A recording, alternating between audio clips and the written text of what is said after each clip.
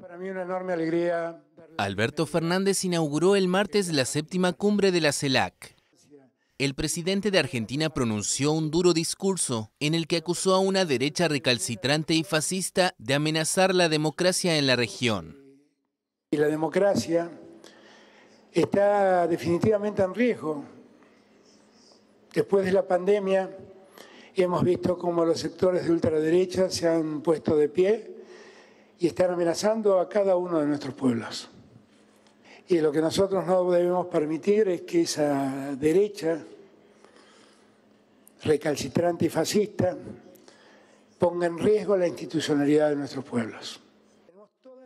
Fernández pidió además un aplauso a los mandatarios presentes en la cumbre para su homólogo Luis Ignacio Lula da Silva, cuya presencia marca el retorno de Brasil a la comunidad de estados latinoamericanos y caribeños.